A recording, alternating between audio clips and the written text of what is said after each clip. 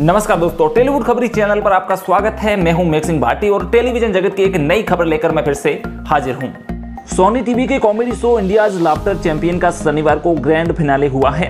आपको बता दूँ कि इंडियाज लाफ्टर चैंपियन शो को शेखर सुमन और अर्चना पूरन सिंह जज किया करते थे। शो में पूरे देश से अलग अलग कॉमेडियन ने हिस्सा लिया था। India's laughter champion Sunil Grover और रोसेल राव होस्ट करते थे। शो में सुनील ग्रोवर भाभी के किरदार में नज़र आते थे। शो के फिनाले की बात करें तो इस मौके पर विजय देवरकोंडा और अनन्या पांडे पहुँचे थे। दोनों स्टार्स अपनी फ़िल्म लाइगर के प्रमोशन के लिए यहाँ पर आए थे। इस शो के top five finalist Rajat Sood, Nitesh Shetty Vijay Sachan Vighnesh Pandey, Ishanshu Bawandar थे। रजत ने अपनी कॉमेडी से लोगों का दिल जीत लिया और शो के विजेता बन गए। विजेता बनने के बाद रजत ने ट्रॉफी के अलावा 25 लाख रुपए का चेक भी जीता है।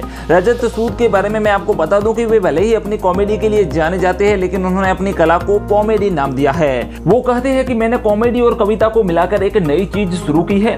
कॉमेडियन के अलावा रजत राइटर कवि, गीत लेखक आदि है। 2021 में रजत दूरदर्शन के 100 100 करोड़ का कवि में नज़र आए थे और इस शो में भी वे फाइनलिस्ट थे।